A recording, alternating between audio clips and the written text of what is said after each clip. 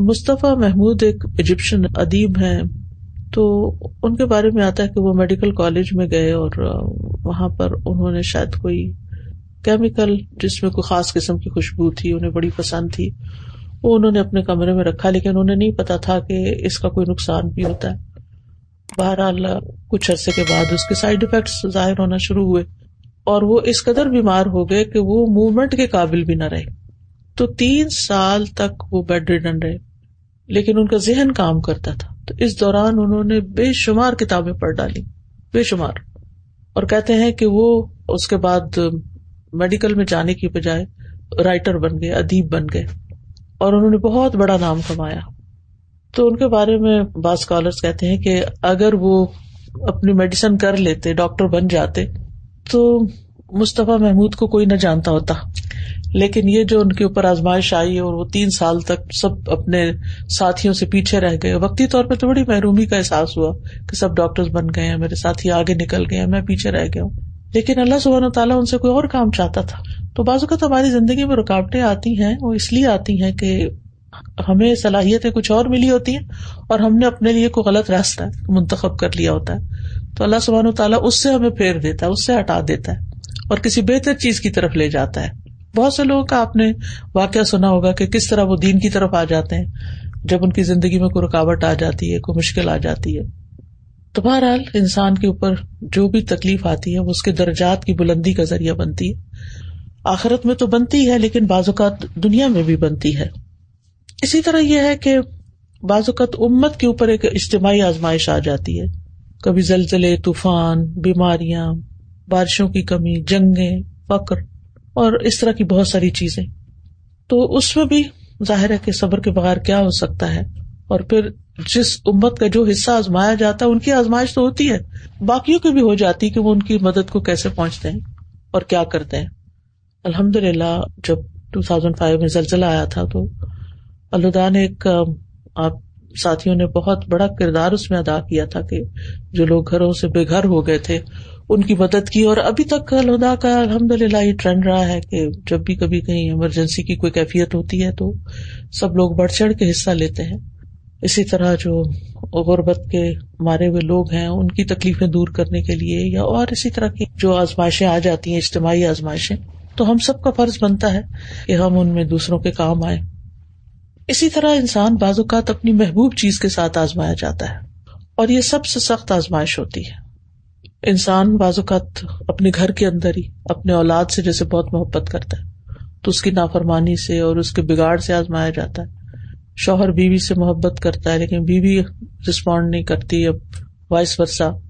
پھر اسی طرح اور بھی ایسی چیزیں ہوتی ہیں۔ انسان زندگی میں کچھ کرنا چاہتا ہے، کچھ بننا چاہتا ہے، وہ بن نہیں پاتا۔ تو اس وقت انسان کے لیے بڑی تکلیف دہ صورت حال ہو جاتی ہے۔ تو ایسی چیزوں میں بھی انسان کو اللہ کی طرف رجوع کرنا چاہیے۔ اگرچہ اس کیفیت سے نکلنا بڑا مشکل ہوتا ہے، لیکن بہرحال ناممکن کچھ بھی نہیں۔ بازو کا تکلیف جو ہے، یہ آزمائش ہے، وہ گناہوں کی وجہ سے آتی ہے۔ تو لوگوں کے پھر دو رویے ہوتے ہیں۔ یا تو صبر اور اجر کی امید رکھتے ہوئے توبہ کر لیتے ہیں، یا پھر دین سے اور دور ہو جاتے ہیں۔ اور غم کا شکار ہو جاتے ہیں ڈپریشن کا شکار ہو جاتے ہیں۔ اور شیطان ان کا یہ کام ان کے لیے بڑا مزین کر دیتا ہے۔ تو ایمان والے کے اوپر جب آزمائش آتی ہے، تو وہ صبر اور اجر کی توقع اور توبہ کے ساتھ اللہ سبحان تعالیٰ کے قریب ہو جاتا ہے۔ اور جب کسی کمزور ایمان والے پہ یا کسی کافر یا مشرق کے اوپر آزمائش آتی ہے، تو وہ اللہ تعالیٰ سے ناراض ہو کر اس سے اور دور ہو جاتا ہے۔ تو آزمائش کے بعد جو توبہ کرنے والے لوگ ہوتے ہیں وہ سب سے بہترین ہوتے ہیں۔ وہ حدیث میں آتا ہے نا کہ آدم کا ہر بیٹا خطا کار ہے اور بہترین خطا کار توبہ کرنے والے ہیں۔ تو جب آزمائش آتی ہے تو لوگوں کے مختلف ریئیکشن ہوتے ہیں، ان کی مختلف حالتیں ہوتی ہیں۔ ایک وہ ہوتا ہے جو آزمائش کا سامنا ناراضگی کے ساتھ کرتا ہے۔ پھر ایک سچا مومن ہوتا ہے جو صبر کے ساتھ آزمائش کا سامنا کرتا ہے۔ اور ایک وہ ہوتا ہے جو راضی رہنے والا ہوتا ہے، رضا کے ساتھ کرتا ہے۔ سر تسلیم خم کر دیتا ہے، اجر کی امید رکھتا ہے۔ اور ایک وہ مومن ہوتا ہے جو آزمائش کے موقع پر شکر اور تعریف کرتا ہے اللہ کی۔ اور یہ سب سے بلند درجہ ہوتا ہے، یہ امبیا اور صالحین کا مقام ہے۔ کہ کس طرح وہ تکلیف آتی ہے تو پھر بھی ان کے اندر جو حاضی اور ان کی ساری پیدا ہوتی ہے اور اللہ کی محبت میں اضافہ ہو جاتا ہے۔ آپ میں سے ہر ایک سوچے کہ کون سا ایسا موقع تھا جب کوئی تکلیف آئی تو آپ نے کثرت سے اللہ کا شکر ادا کیا کہ اللہ، تیرا شکر کہ تو نے اس سے بڑی تکلیف نہیں دی۔ تیرا شکر کہ تو نے اس موقع پر میرا ایمان مضبوط رکھا۔ تیرا شکر کہ اس کے ذریعے تو نے مجھے علم دیا کہ تو مجھ سے محبت کرتا ہے۔ تو ان احساسات کے ساتھ وہ زیادہ سے زیادہ اللہ تعالیٰ کا شکر ادا کرتا ہے۔ تو بہرحال ہمیں دیکھنا چاہیے کہ ہم کس درجے پر ہیں۔ ہم کیا کرتے ہیں۔ تو آزمائش میں یہ ہے کہ برے لوگ جو ہے وہ بعض اوقات اور برائی کی طرف چلے جاتے ہیں اور بعض خطا کار جو ہے وہ نیک امال کی طرف آ جاتے ہیں۔ بہت سے لوگ اللہ سبحان تعالیٰ کی طرف رجوع کر لیتے ہیں اور اس طرح آزمائش جو ہے کھڑے کھوٹے کو الگ کر دیتی ہے کہ کون کیا ہے۔ ایمان کا درجہ پتا چل جاتا ہے کہ ابھی ہم ایمان کے کس درجے پر ہیں۔ لوگوں کی ایک تربیت بھی ہو جاتی ہے کہ وہ دین کے کام کے کتنے قابل ہیں۔ یعنی اگر دین کے راستے میں کوئی آزمائش آتی ہے، اسے گھر والے رکاوٹ ڈال دیتے ہیں، تو انسان پھر بھی ثابت قدم رہتا ہے، چھوڑتا نہیں اس رستے کو۔ وہی راستہ اختیار کرتا ہے کہ نہیں، مجھے تو اللہ کے راستے پر ہی رہنا ہے، کیونکہ یہ راستہ میرے لیے سب سے بہترین راستہ ہے۔ مجھے دین کا کام نہیں چھوڑنا۔ کیونکہ بہت دفعہ ایسا ہوتا ہے نا کہ ہماری بچیاں قرآن پڑھ لیتی ہیں، دین پڑھ لیتی ہیں، پھر کاموں کے لیے کمٹمنٹ بھی کر دیتی ہیں، پھر کوئی چھوٹی موٹی رکاوٹ آتی ہے، کوئی مخالفت آ جاتی ہے، تو پھر گھبراہ اٹھتی ہیں۔ کچھ تو ثابت قدم رہتی ہے لیکن کچھ لوگ ہمت ہار جاتے ہیں۔ تو ہمیں یہ یاد رکھنا چاہیے کہ جب کوئی شخص اللہ کی محبت کا دعوی کرے گا یا اللہ کے رستے میں نکلے گا تو اس کی آزمائش تو ہوگی۔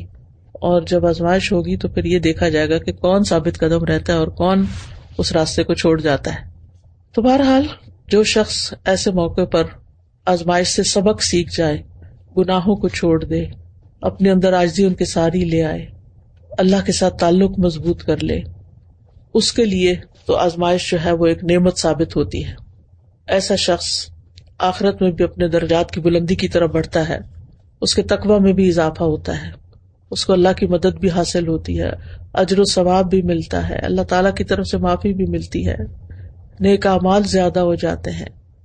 دنیا کی بے ثباتی کا یقین ہوتا ہے، دنیا کی نعمتوں کے زوال کا۔ اور پھر انسان کو اپنی حقیقت سمجھ میں آتی کہ میں کتنا کمزور ہوں۔ انسان کے دل کے امراض ختم ہوتے ہیں، اس کا تکبر ختم ہوتا ہے۔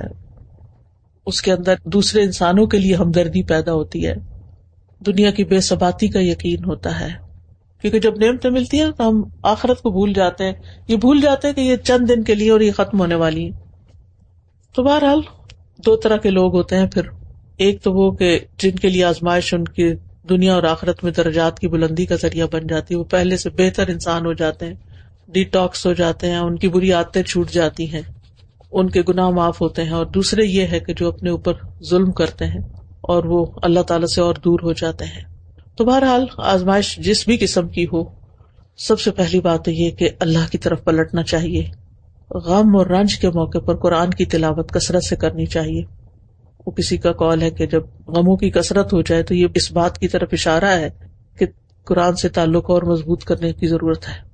پھر یہ کہ صدقہ بلاؤں کو ٹالتا ہے، صدقہ کثرت سے کیا جائے۔ والدین سے حسن سلوک اور رشتے داروں سے صلاح رحمی کی جائے۔ اس سے بھی آزمائشیں دور ہوتی ہیں۔ والدین کی دعائیں ملتی ہیں۔ پھر اپنے ساتھیوں پر احسان، اپنے ساتھ اٹھنے بیٹھنے والے، اپنے ہمسائے، اپنے کلیگس ان کی تکلیفیں دور کریں، ان کے غم سنیں، ان کے کام آئے ان کی مدد کریں۔ پھر یہ کہ اللہ سبحان و تعالیٰ پر توکل کرے اپنے معاملات اللہ کے سپرد کر دے جیسے علیہ السلام کو جب فرعون نے دھمکی دی تھی تو انہوں نے کیا کہا تھا؟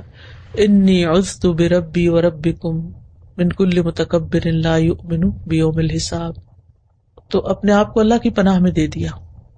تو اللہ تعالیٰ نے ان کو بچا لیا۔ پھر کثرت سے ذکر اور دروشریف کا پڑھنا اور دعا۔